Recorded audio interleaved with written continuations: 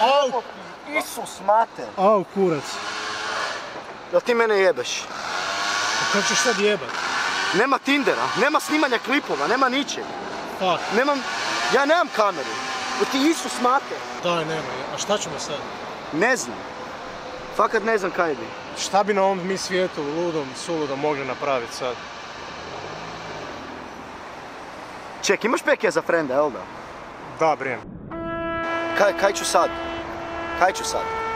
Nemam jebeni mobitel, nema Tindera, nema, nema cura, jer ne znam.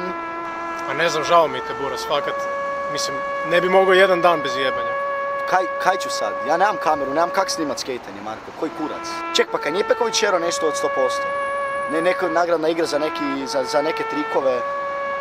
Da jebote, možeš možda googla da vidimo koji su, koji su trikovi? Pa mislim mogu, ali imam samo 15%.